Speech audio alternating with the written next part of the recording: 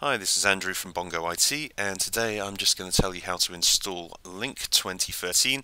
That is a piece of software that comes with Office 365, and it's very much like Skype, so you can video conference um, your colleagues and get them into online meetings. So I'm just going to open up Google Chrome. What you need to do is go to portal.office.com, there you're going to sign in using your username and password and it's going to log you in to your admin page. You might log into your Outlook page if you've got that set as default, doesn't matter. What you need to do is go to the settings cog over here and go to Office 365 settings.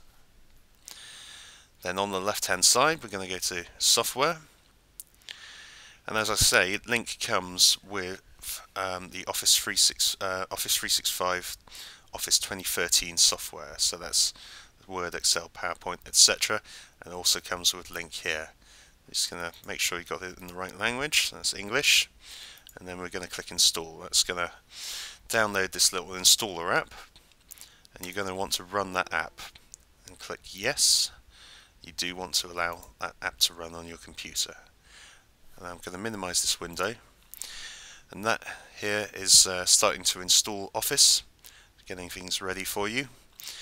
You don't have to sit through the whole installation. Office is going to install in the background and very quickly you're going to be able to use some of the, the apps that are available with Office.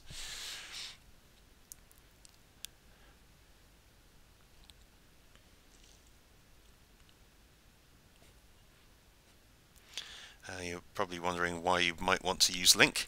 Well, it's very useful for us as um, IT support people means we can quickly get into a conversation with our clients and um, then remotely support them via the app as well because it allows desktop sharing or we can just take a quick look at someone's computer and um, show them how to do something and help them.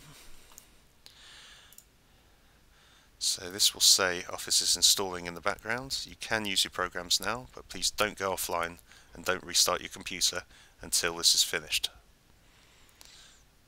Okay, so if you're on Windows 7, you go Start Programs, Office 2013, and find Lync.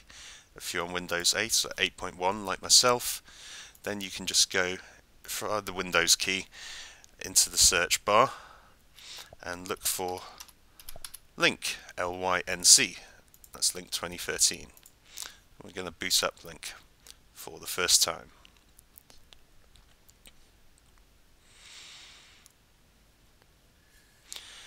It's going to require me to sign in with my sign-in address, andrew at bongoit.co.uk.